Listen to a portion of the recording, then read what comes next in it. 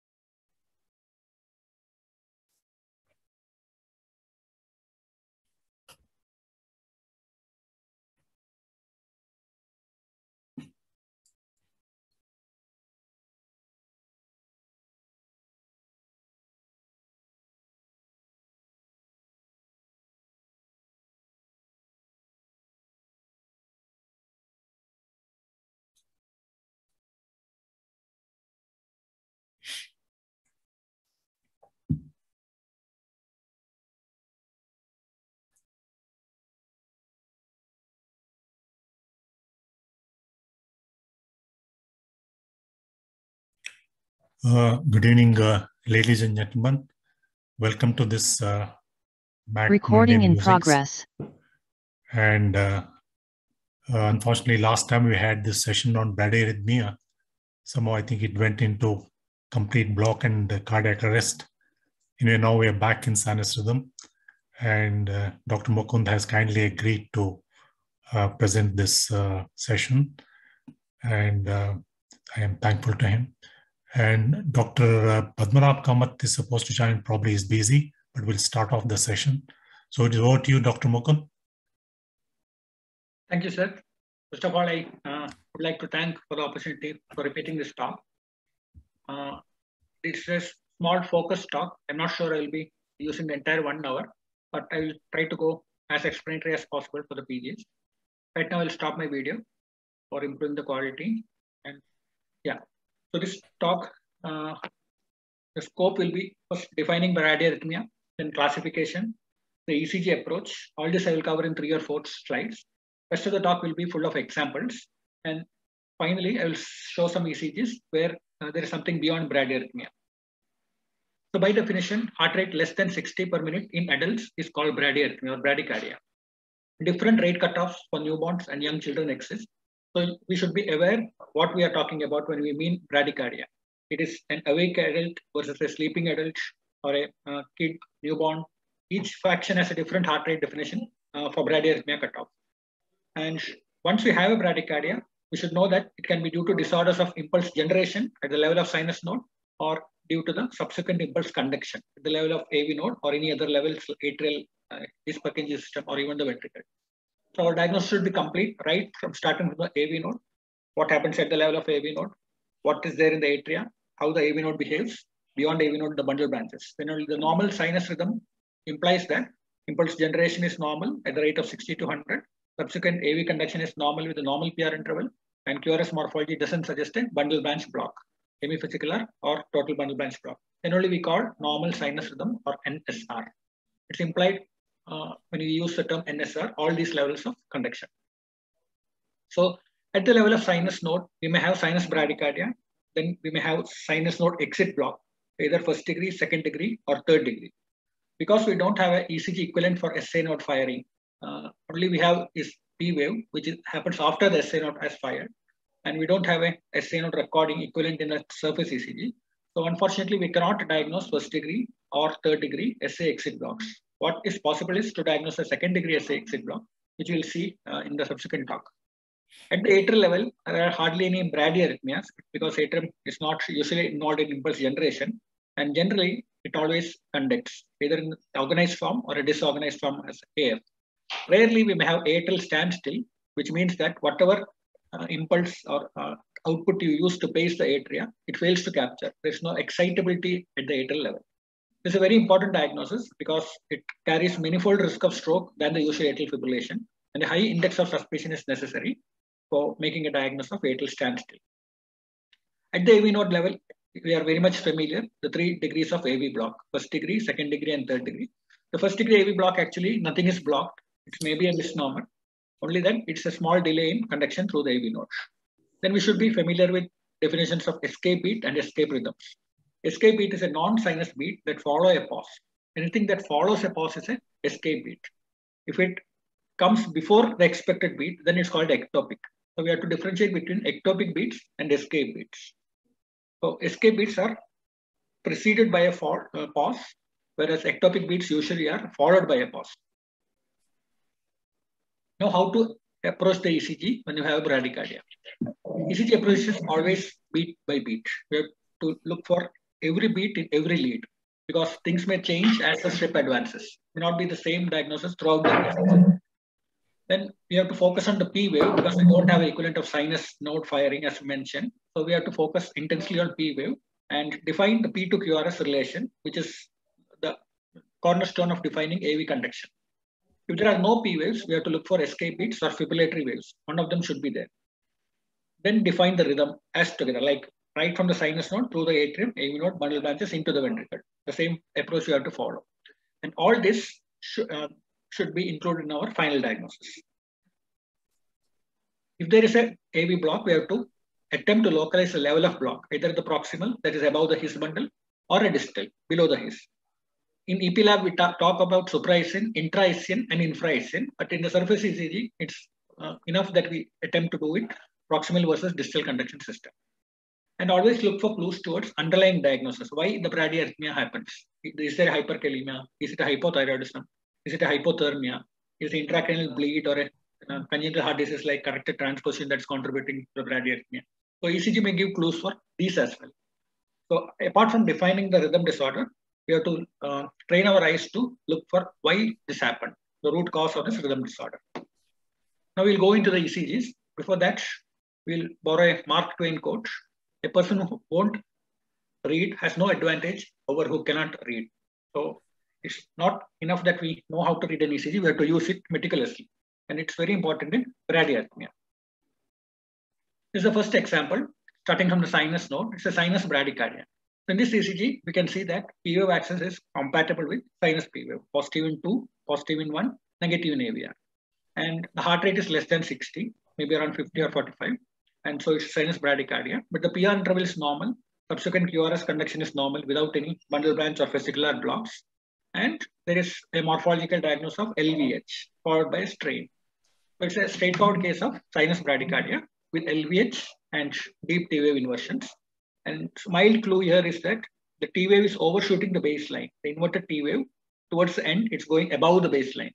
This suggests that this is a myocardial hypertrophy rather than an ischemia. In true ischemia, classically, the entire T wave will be below the baseline, whereas hypertrophy causing deep T wave inversions you may get a terminal overshoot of the T wave, like in this ECG. So that's a subtle clue that we are dealing with a LVH and not an ischemia. So otherwise, this is a sinus bradycardia. Uh, we don't know what's the cause. We have to look for all possible causes. And here is another ECG. Again, sinus bradycardia and junction has escaped this time. There's hardly one P wave seen in this V1 lead, and the PR is not physiological. What has happened was sinus rate is too slow, that is slower than the junctional rhythm, junctional rate. So junctional rate is dominating. The fastest rate dominates in the ECG. So the junction is dominating. At times, when sinus fires or atrium fires, if there is a AV, uh, AV node is not refractory, it will try to capture. Like in this third beat, my arrow sitting here in the rhythm strip, the third beat probably has captured, the atrium or junction has captured. And subsequently, the is, PR interval is too short. So it's just facetious relationship. They're just seated together. They're not related to each other because in normal hearts, such short PR interval is not possible. It's not physiological. So here, sinus node, for some reason, is not firing and junction has taken over. Now, if this patient comes with us without any symptoms, what will uh, we do? I'll show you rest of the history of this patient. We made him do exercise test. For that, we did a standing ECG. The moment he stood up, P waves appeared. Now we know that it's not sinus rhythm, of course, but heart rate is faster. So heart rate is heart is capable of some chronotropic response in response to a hemodynamic or postural change. And subsequently, this is a pre-exercise ECG. It's very clearly sinus. The PO axis has uh, given a clue that it is a sinus P wave. And with ongoing exercise, the sinus has taken over. Uh, It's excuse, me, sir. common- excuse me, sir. Sir, Dr. Gaurav here, sir. Excuse me, sir. Sir, one doubt, sir, last ECG. Yeah, please tell. Uh, sir, last ECG is that sinus rhythm ECG, sir. This one, this one, Uh, no, no, previous, previous, previous ECG, previous ECG. this one. Uh, yes, sir, yes, yes. Sir, uh, sir, uh, uh, yes, sir, sir. Sir, can, it can be CHB also, no, sir? Can be because Yeah. PR is va- varying Yeah. and Yeah, that is a very good question. Uh, I'll just briefly explain this, but I'll explain it more along with CHB. For CHB, we have to uh, demonstrate AV dissociation. So atrium should be controlled by a different focus and ventricle should be contained by uh, controlled by another focus. And more importantly, most importantly, atrial rate should be higher than the ventricular rate.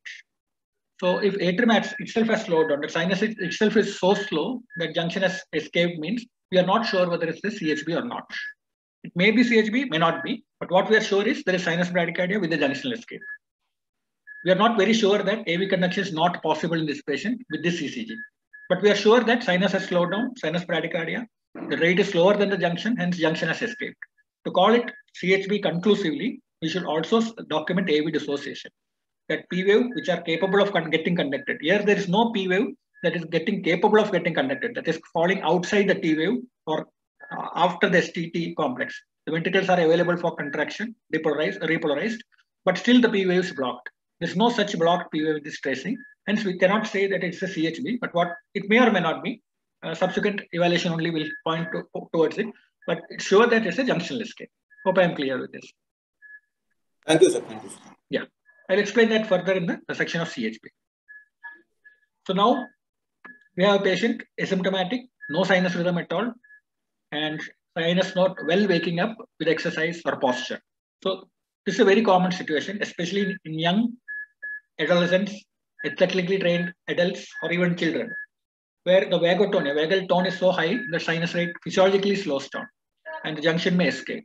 They may even show Mobitz type 1 or Wenckebach block, especially in Holter, even during awake states. And easy thing to do are make him exercise, walk, or even cough.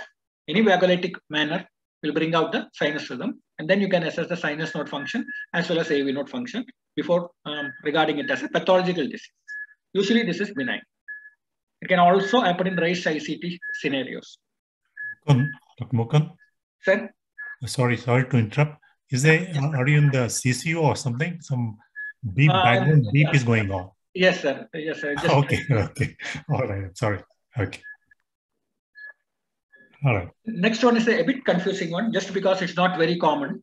Uh, hardly we'll see this, but more, I think more often we miss it rather than not see it.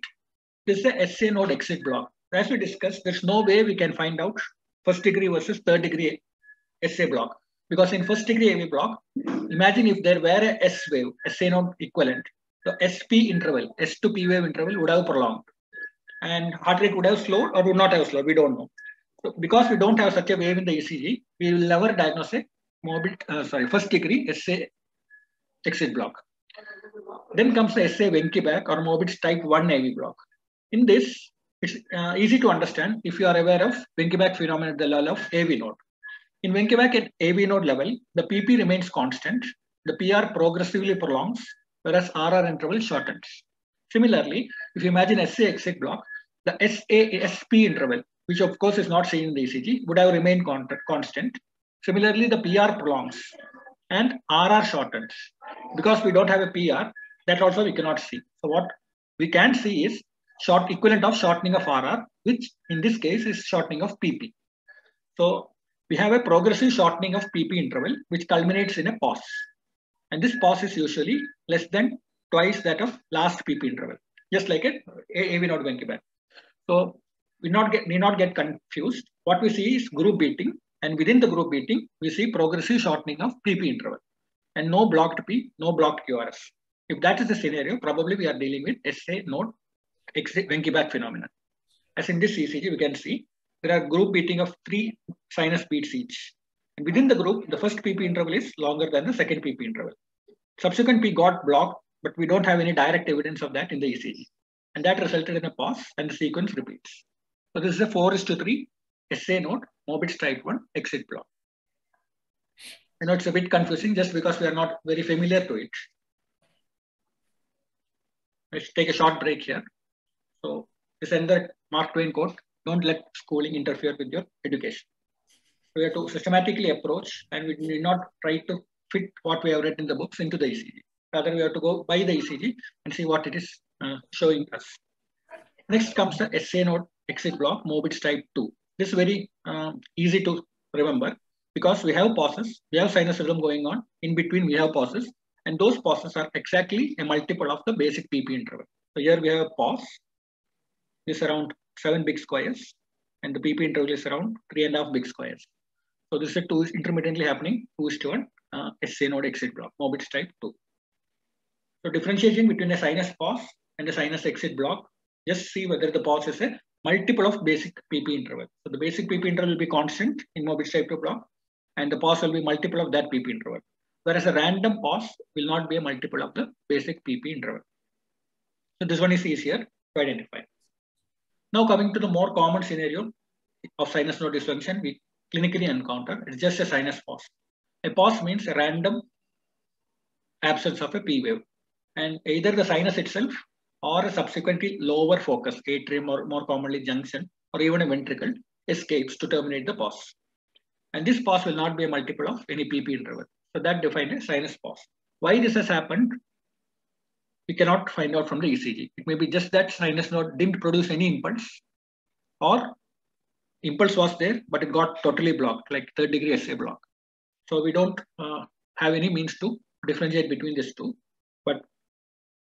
Sinus arrest means technically sinus node is not producing any impulse, whereas a sinus pause is the result, consequence of that sinus arrest.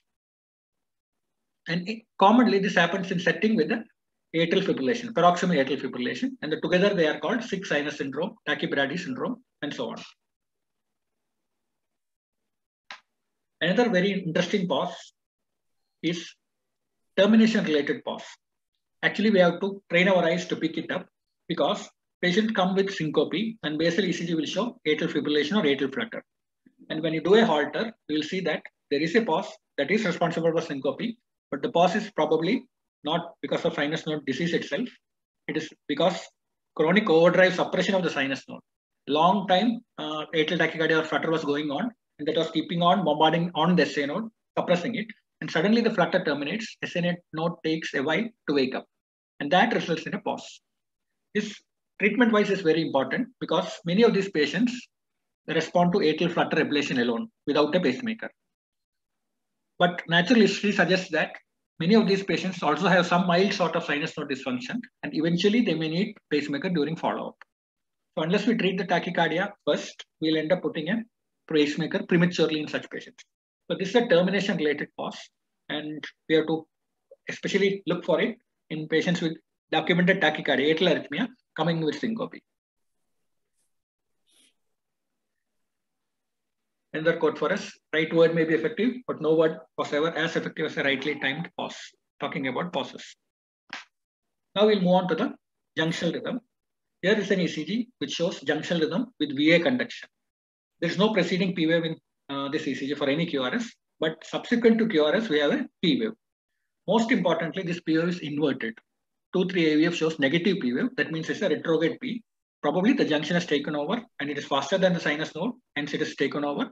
And not only that, it is causing retrograde P wave. Apart from that, there is an incomplete right bundle branch block. So this is a junctional rhythm with VA conduction. When this happened at low rate, we call it an escape rhythm. When it happens at a normal sinus rate, like 70 or 80, and you can see PVS dissociated, then you call it, call it accelerated junctional rhythm, causing isorhythmic AV dissociation. But in this case, there is no AV dissociation because one-to-one P to QRS relationship is there. Albeit P follows the QRS. That is junction drives the. Initially told about pauses, escape beats, ectopic beats and all. And this is a very classical bradyarrhythmia called escape capture bigeminy. As you note here, especially best seen in maybe V1, none of the QRS within the group, the first beat doesn't have any P wave throughout the ECG. So that's an escape beat. It terminates a pause. It comes after a pause. So it's an escape beat. Other one actually comes prematurely. But if you see closely, especially V1, V2 and all, you can see a P wave preceding it.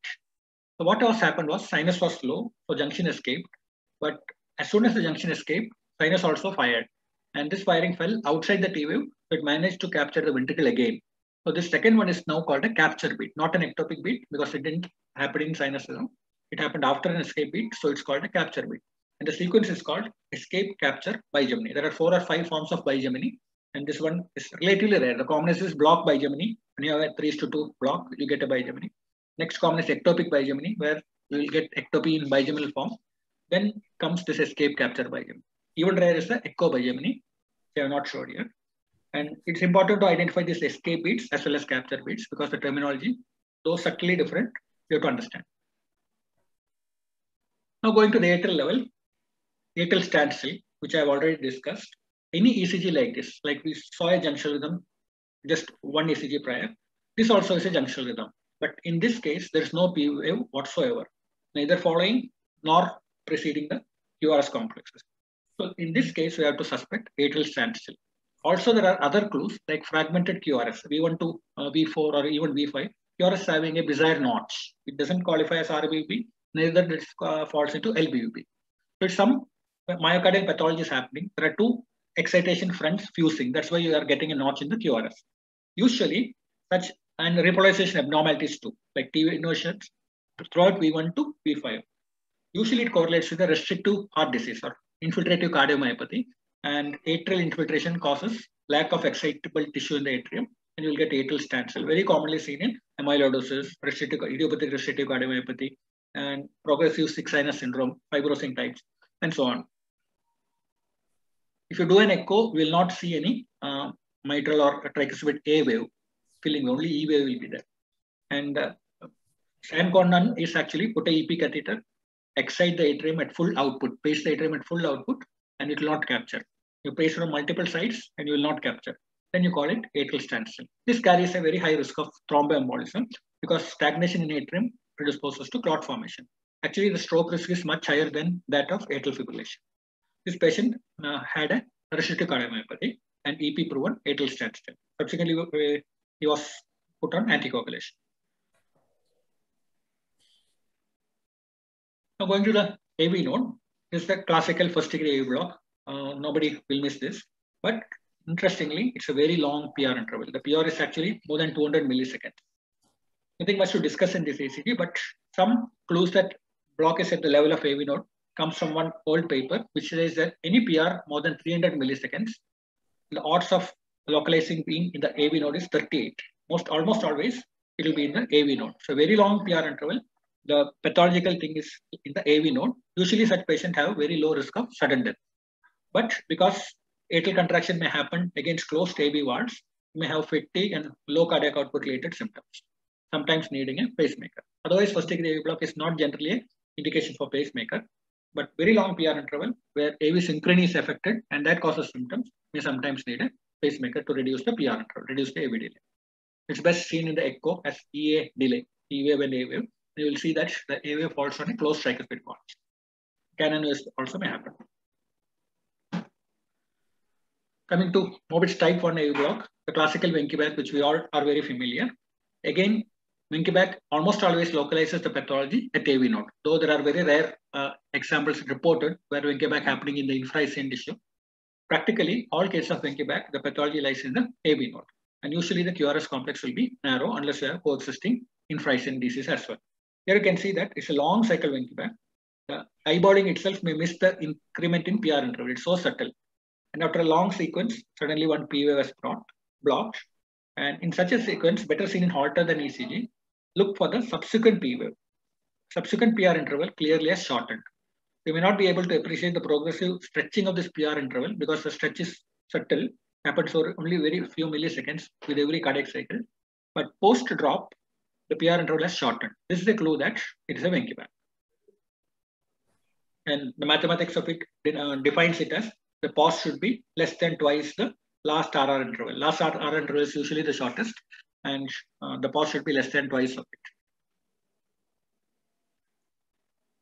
This is a case of Mobitz type 2 AV block. It's not very common to see. And in this particular patient, the ratio is 3 to 1. When you have 2 to 1, it's classified as a separate entity. But anything more than that, you call it a high-grade AV block as well as Mobitz type 2 block. Here the um, block is pattern is mathematical. Every third PV gets conducted. So it's also a high-grade AV block because by definition, high-grade AV block requires two consecutive PVs to get blocked. That's happening. So it's also a high-grade AV block. But because there is a pattern, you can classify it as three-stone AV block, which falls under the perspective of Mobitz type 2 AV block. I just want to highlight that uh, confusing terminology, high-grade AV block. Any two consecutively blocked P waves emits some conduction. Not all P waves are blocked, but more than one are uh, sequentially blocked. Then you call it high-grade AV block. Many of those high-grade AV block also will fall into the Mobitz type 2 definition. It's just semantic. Apart from this, you have a 2 is to 1 AV block. 2 is to 1 AV block, strictly speaking, cannot be classified as Mobitz type 1 or type 2. It's a different entity. You can attempt to localize it as proximal conduction system or distal conduction system. If you have narrow QRS, normal PR interval, chances are more than that. Or even high, long PR interval, chances are more that block is suprahisian or within the AV node. Whereas wide QRS usually suggests infrahisian disease, like in this case. QRS is not only wide, it's having an atypical RBB like a um, morphology. Every alternate P wave is getting blocked. Now coming to CHB, I'll elaborate the CHB definition here once more. So it requires three limbs or four limbs. First limb is constant atrial rate. PP interval should be constant. Second rate is, second thing is RR interval is also constant. Ventricular rate is also constant. However, there is no relation between P and QR. So the PR interval, the term itself is a misnomer. But if you want to use it, the PR interval varies from beat to beat. There's no constant PR interval at all because there's no recording stopped. P and QRS. And last but not the least, atrial rate should be higher than the ventricular rate. All of these rules may have exceptions. We have all of us have seen CHB with irregular heart rate. We have some uh, subset of causes for that. But in general, CHB will have a regular ventricular rate. Depending on escape rhythm, whether it's proximal or distal, suprahisian or infrahisian, it will be either narrow or wide. In this case, it is narrow. And atrial rate will be more than the ventricular rate. If ventricular rate is more than atrial rate, then you call it ventricular tachycardia. So AV dissociation is of three forms. One is CHB, where atrial rate is more than ventricular rate. Second is ventricular tachycardia, where ventricular rate is more than atrial rate. And isorhythmic AV dissociation, where both atrium and ventricle are at near similar rates, but they don't have relation with each other. The PR is varying. So there are three types of AV dissociation. CHB is one of them. And there are some high risk features which we have to look when we have a CHB. One is high atrial rate for the age. High atrial rate indicates that there is a high sympathetic tone. The body is trying to maintain the cardiac output by increasing the sympathetic tone. But because of the CHB, it's not happening. Such patients are prone to develop pulmonary edema, uh, sudden cardiac death. Then wide QRS escape, it indicates infrahisian escape. It's not predictable. It may just die out suddenly. Unstable escape, there's no single constant morphology. Beat to beat variation in morphology is happening. Repolarization changes, especially T wave, T, deep T wave inversions, QT prolongations, complex PVCs, all of them. Recording in progress. Probably there is a likelihood of developing a torsades and clinically syncope. All these are high risk features in a given case of CHB. The symptomatic narrow QRS CHB, atrial rate is fine, QT interval is fine. Usually, uh, you can do an elective pacemaker. I said, symptomatic CHB or wide QRS CHB or uh, QTT changes have happened, better to do a pacemaker without waiting. That's the nutshell of it. And this is an uh, example for a wide QRS escape happening in a complete heart block. Also note the high atrial rate. This is an adult patient. You can see the atrial rate is more than 100. Probably there is increased sympathetic drive and one P wave managed to conduct. Probably conduct, we don't know because it may be just facetious relation. Unless it's reproducible, we cannot be sure that it got conducted. But when it got conducted, there's a right bundle branch block morphology suggesting that it's an infrahisian disease.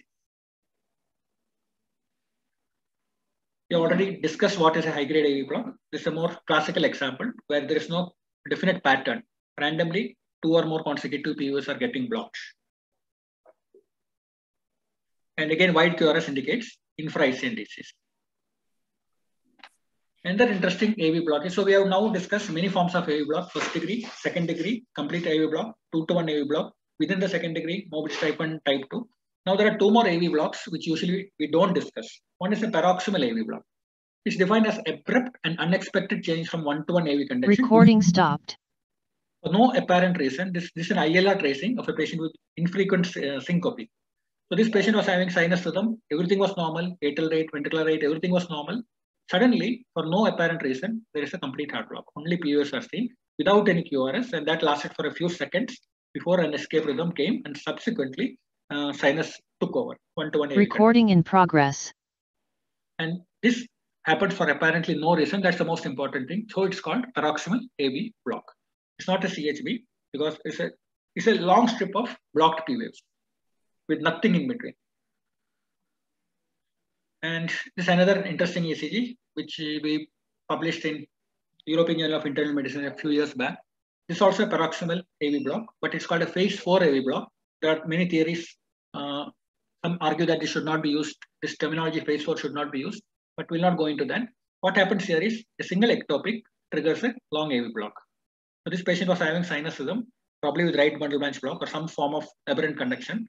Suddenly, an ectopic has come, and post-ectopic, you have three PUs blocked.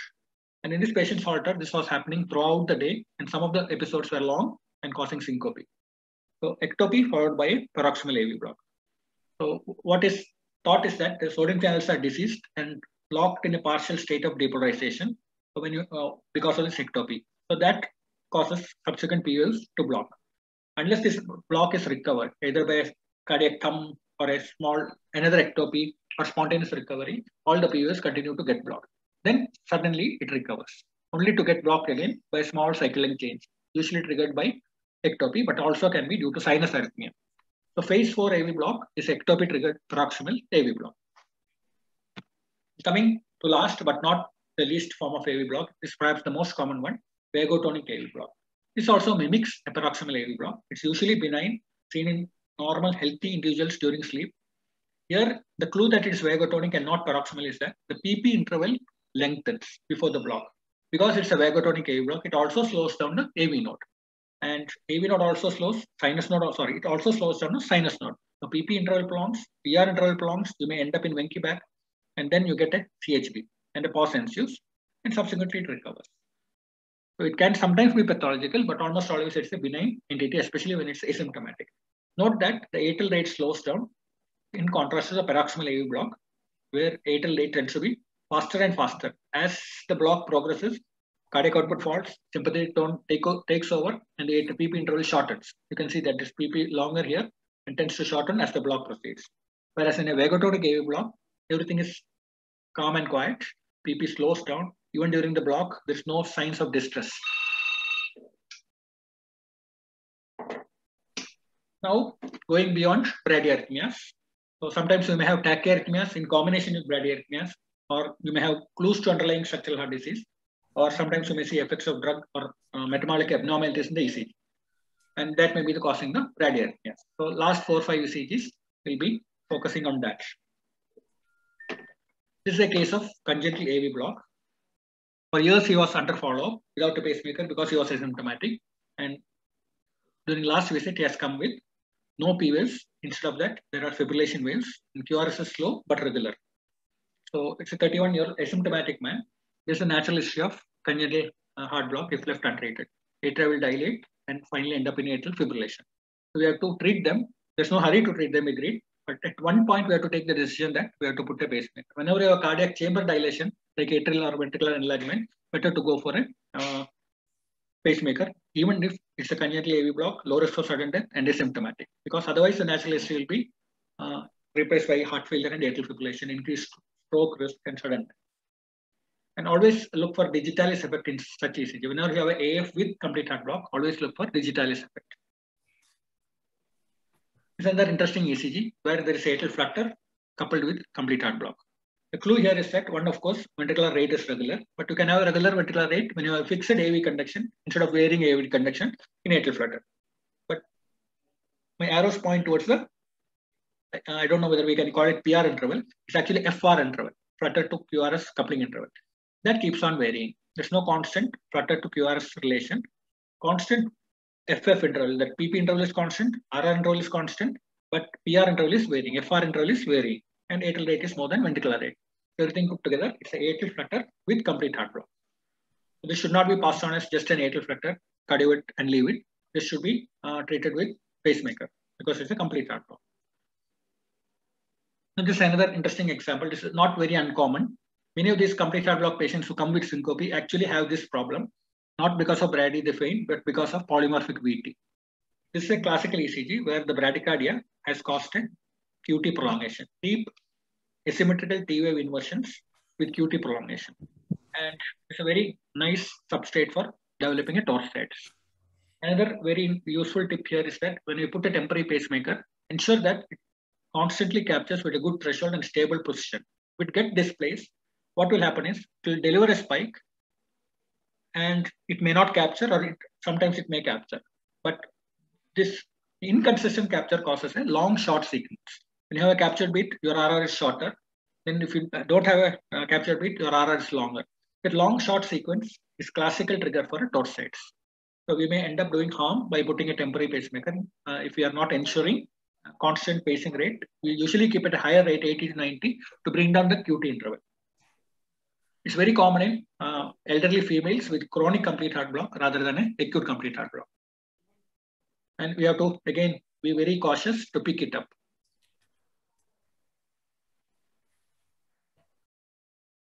Here's another interesting complete heart block. Obviously, it's a complete heart block. Atrial rate is more than ventricular rate. Atrial rate is regular. Ventricular rate is regular. PR is varying. So it meets, meets all the definitions. And there's also LVH, but not the T wave. This T wave actually throwed a very strong hunch, hunch of, of course, hyperkalemia. Very rapid rise of T wave. That is almost like an acute angle and narrow base T wave. So this lady actually had aortic stenosis as well as hyperkalemia with a potassium of 7. She was in a nephrology ward with CKD when she developed this arrhythmia. And subsequent to dialysis, when her potassium was normalized, both are complete heart block as well as her ECG. Now we can note the ECG, the T waves, how different they are. Even the ST is showing some depression in the form of strain. So this is a reversible, uh, means of course there will be some infiltration disease, but the acute trigger was hyperkalemia. And this hyperkalemia could act actually prospectively be diagnosed using this ECG even before the potassium came because of this uh, TV morphology in V5 to v, V4 and V5. So I think I'm towards the end of my, uh, one or two ECGs may be there. There's another interesting type 1 AV block, Mobitz type 1 AV block. It's actually Wenckebach, 2 to 1 and 3 to 2 alternating.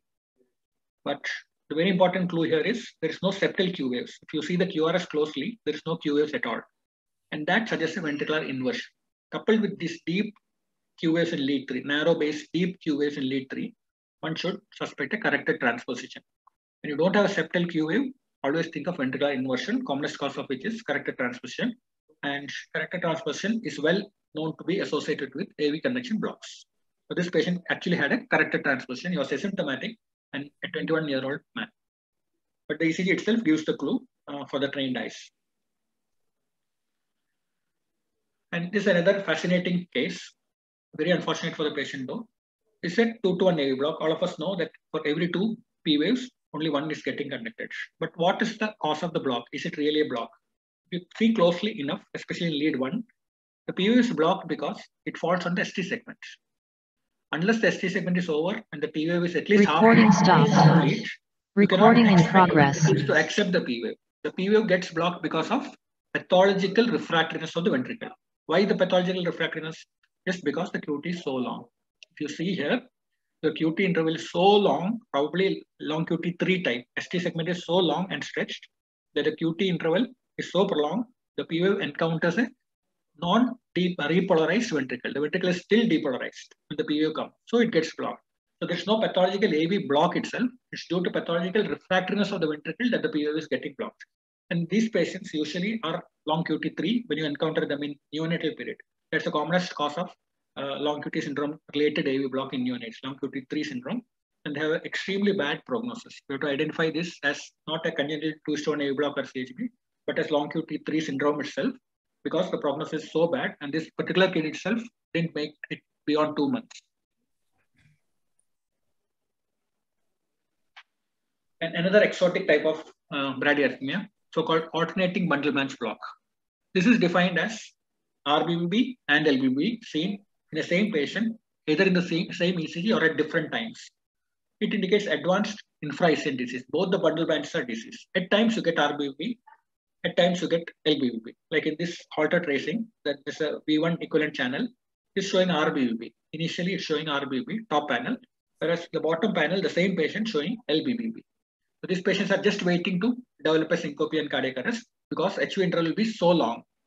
Unless you do a EP study, you will not realize the severity. We'll think that it's one-to-one AV conduction, only some bundle branch block. But unless we see this both tracings together, RBB as well as LB happening in the same patient, or if he has a syncope, we'll just pass it off as likely bundle branch block. So this is an alternating bundle branch block, not very common, probably not very commonly recognized as well. And there's no clear guideline based on data, but all guidelines say when you see this, put a pacemaker. And finally, this is an asymptomatic 38 year old man. Apparently, there is sinus bradycardia, first degree AV block, and IVCD. Everything is pronged. PP interval pronged, PR interval is pronged, QRS duration is also pronged. So naturally, we may think it's a pan conduction disease, but always verify the paper speed and ensure that it's a normal speed ECG. In this particular case, was a 50 millimeter speed accidentally taken ECG, mimicked bradycardia or bradyarrhythmia, whereas actually patient didn't have any problem at all. That also becomes part of our analysis of ECG. We have to look for paper speed before diagnosing tachy or bradyarrhythmia. That's the thing, uh, paper speed. So finally, one more quote. All generalizations are false, including this one, again from Mark Twain. Thank you all. Uh, thank you, Mukund, for that excellent presentation. Very interesting ECGs and very interesting quotations. Thank you. Thank you.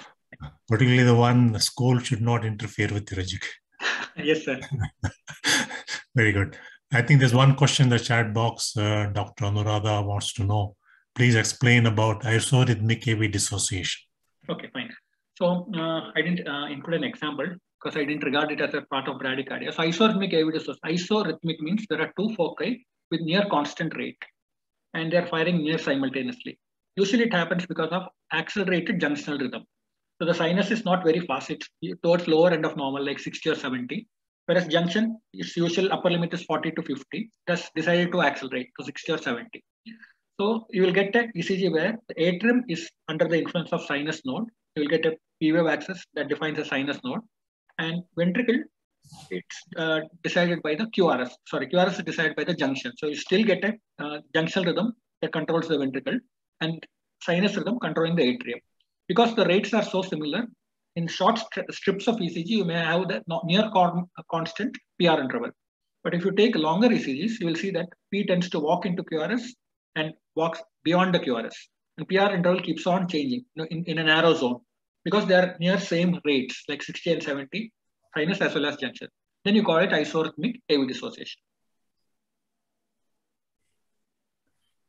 Uh, and the one is the differences between SA exit block and AV block in ECG. Okay, to simply uh, state it in one sentence, P to QRS relationship will be preserved in SA exit block, whereas P to QRS relation will be disturbed in AV block. Rest of it, we have to analyze what's the PP interval, how it behaves, what's the PR interval, like that, which we have explained during our two example illustrations. But when you have one-to-one QRS relationship and irregular rhythm, there's no AV block. Whereas any perturbation of one, uh, one-to-one QRS relationship means that there is AV block.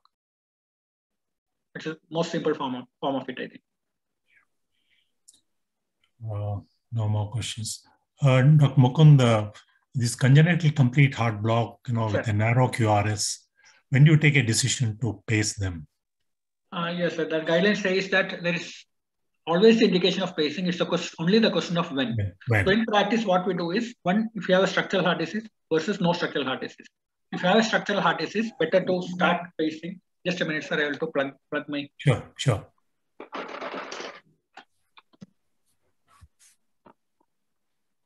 Uh, When you have a structural heart disease, you have a lower uh, cutoff. Uh, older guidelines used to say 55 per minute. Now there are some guidelines saying 75 per minute. If the ventricular rate is less than that, go for a pacemaker.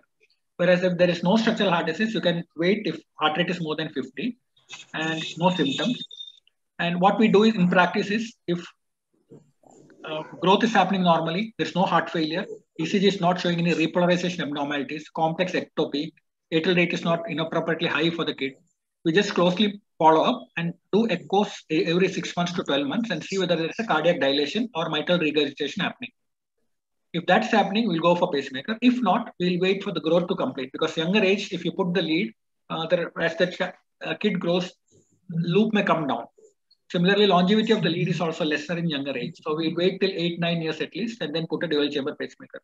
At least 15 kilogram is needed for it. Uh, people do it 10 kilogram also, but most people are comfortable if uh, weight is 15 kilogram before they put an endocardial pacemaker. Before that, we'll have to go for an epicardium There's one question. Uh, they want you to request requesting you to repeat AF with complete heart block. Uh, you mean atrial fibrillation or flutter? AF, AT fibrillation. Okay, atrial fibrillation with complete heart block, we have to suspect in an AF patient when you have a regular heart rate. Sometimes very slow uh, ventricular rate may mimic apparently regular, so we are always to measure with caliper. Eyeballing may not help when the heart rate is very fast or very slow. And we have mathematically regular heart rate in the space of an atrial fibrillation. That's enough for diagnosing AF with complete heart block. Always look for digitalis effect because many of the patients receive dig- uh, digoxin and digoxin toxicity can cause CHB. So when you have such an ECG where you suspect AF with complete heart block, always look actively for uh, digoxin toxicity because that can be lethal otherwise. Uh, Dr. Manjunath, is that the question you asked? Uh, yeah. okay. Um, Dr. Uh, can I ask Yeah. one question, Mukund? Uh, regarding atrial standstill and how to differentiate your audio is not clear. Looks Patil, a junctional rhythm. So can you Dr. type can you repeat it? can you repeat the question, Dr. Yeah. Patil? Uh, in atrial standstill and uh, junctional That's a very rhythm. nice question, sir. Uh, usually junctional rhythm either should have a retrograde atrial conduction, negative P wave after the QRS, or it should have a uh, atrial or sinus P waves, which are very slow, slower than the QRS rate. So if Is there it, is it always a must? Is it Uh, always a must in junctional rhythm? In a single ECG, it's not a must, sir. But if you are doing a Holter or a repeated ECG or a period of time, Yeah. at some point you should be able to see some P wave, either antigrade or retrograde. If not, you should suspect atrial standstill. Yeah, but yeah. the confirmatory thing is only when you put a catheter and pace at maximum output and you're not able to capture the uh, atrium. Then only you can confirm it. But your index of suspicion should be high.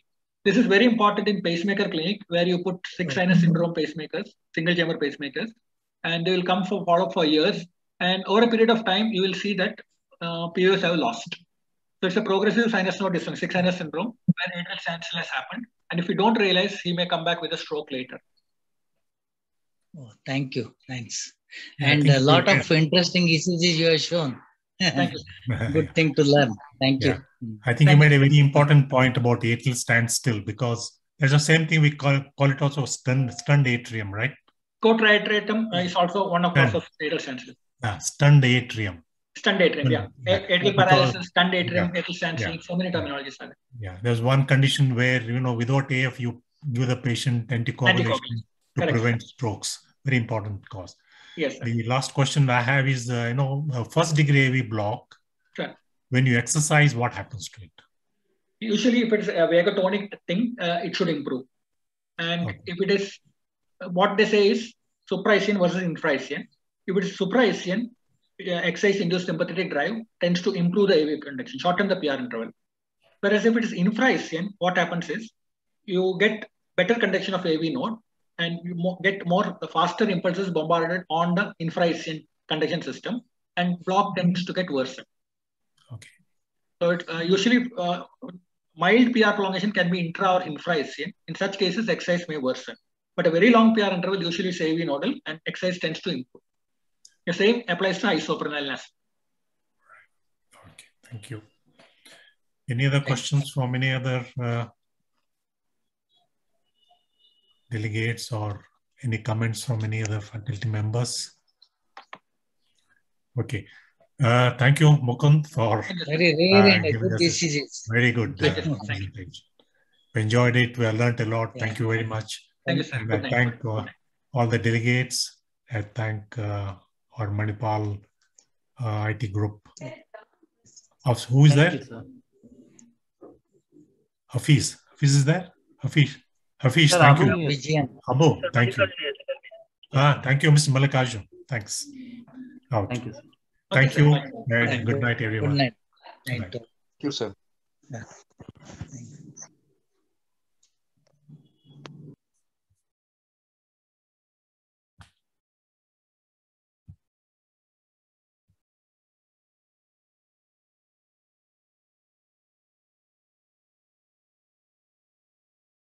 Record.